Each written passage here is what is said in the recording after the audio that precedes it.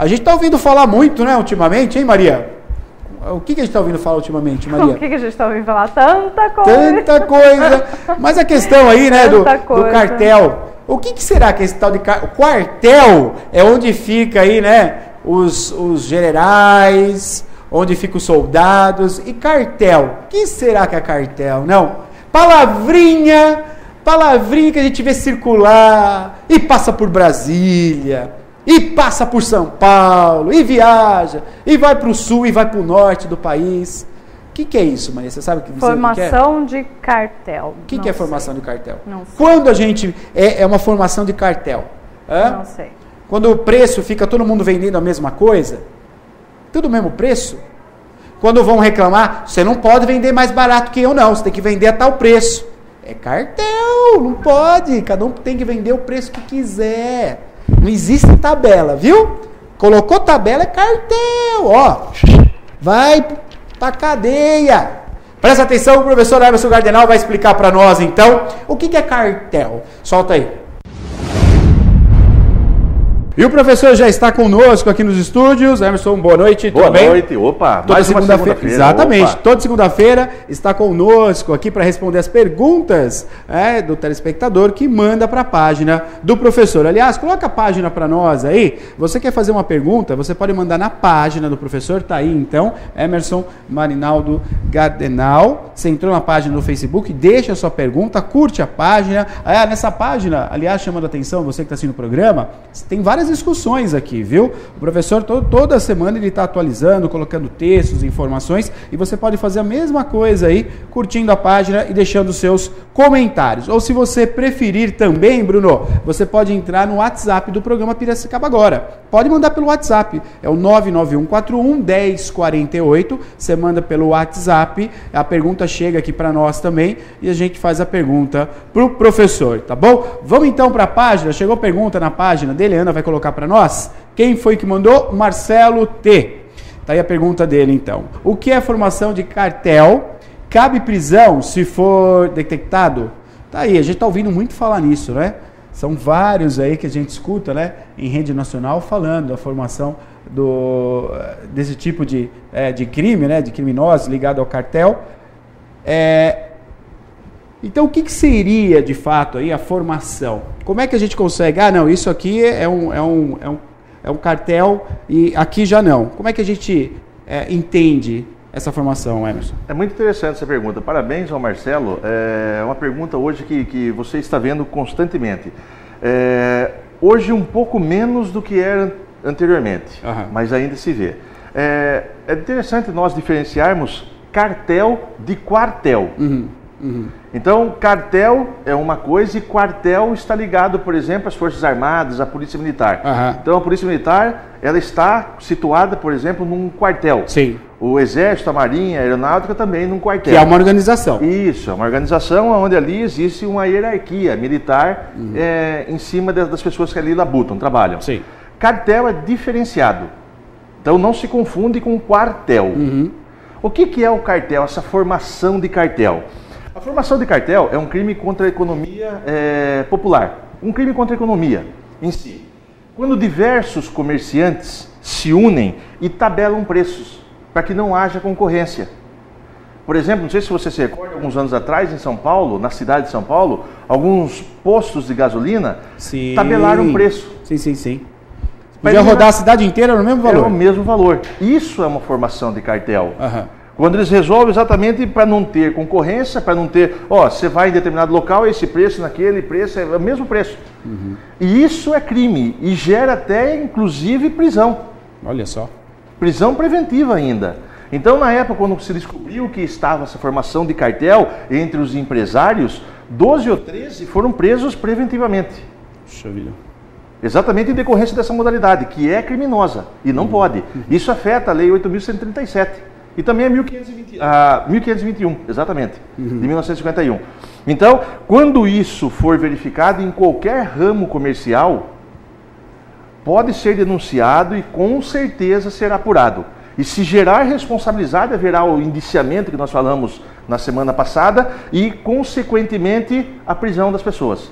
Porque isso configura crime. Ah, eu lembrei agora, você falando, né? Recordei também que teve uma época que foi com gás também. Sim. Com gás na cidade de São Paulo também, eu lembro disso, era tudo o mesmo preço, foi caracterizado também esse tipo de crime. Agora, nesse caso, abre-se uma investigação, e aí, é como você falou, quer dizer, é, é, pode acabar em prisão mesmo. Do, Sim, opa, responsabilidade criminal.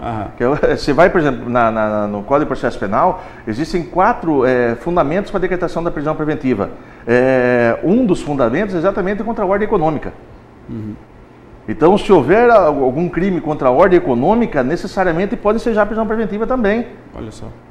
Então, além do crime, se for detectado que as agências, o Estado não está conseguindo é, fazer a manipulação para que se volte ao normal, isso pode ser imediatamente estancado com prisão.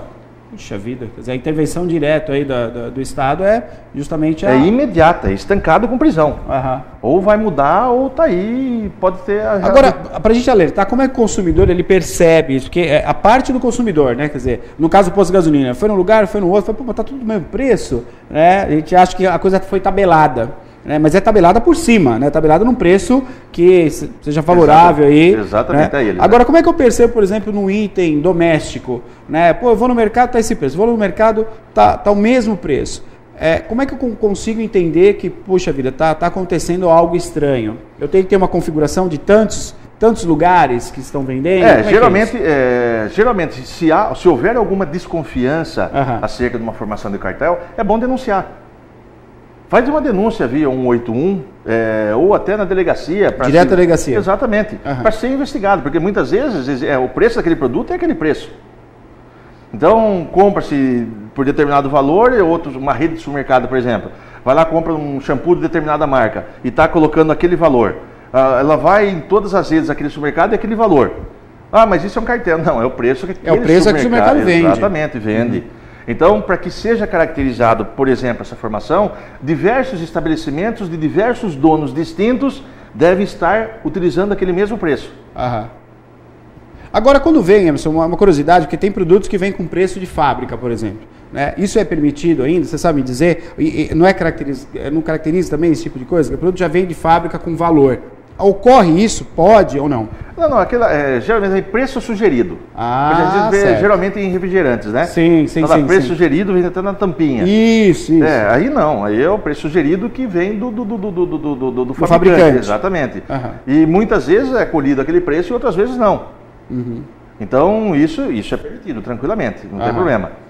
Então qualquer desconfiança, delegacia. Denuncia, isso, denuncia. 81 denuncia para ser investigado e vai ser investigado. Se for detectado, quem estiver fazendo parte desse cartel pode ser responsabilizado. Eu lembro também na época que, quando tinha tabela, lembra quando tinha tabela? Sim. Tabela da Sunab. Tabela Hã? do Sarney, né? Nossa, dos fiscais do Sarney. dos fiscais do Sarney, tinha tabelinha. Aí a dona de casa ia com aquela tabela, batendo tabela. Opa, o preço está errado aqui, fazia denúncia. Exatamente. Aí os fiscais do Sarney. Isso em todo o Brasil aconteceu, 1986, né? né? Que loucura que era essa época, não? Exatamente. Eu lembro que minha mãe ia com uma tabela, né? Tinha que ficar batendo tabela. E aí, Aí era uma coisa pior ainda, porque por vezes, quando o, produto era tabelado muito baixo, ele sumia do mercado. Exatamente. Né? Os empresários. As filas aí, de leite na época. Lembra? Não tinha, não achava leite. Exatamente. Que era tabelado muito baixo, então ninguém queria perder, uh, o empresário não queria perder, então não entregava leite, não tinha leite no mercado. Exatamente. O frango também sumiu Exatamente. uma época, não encontrava frango. Exatamente. É, eu lembro, eu, lembro eu, eu, adolescente, de passar nos lugares onde vendia aquela, a, a, a famosa televisão de cachorro, né? Que tinha os frangos assados,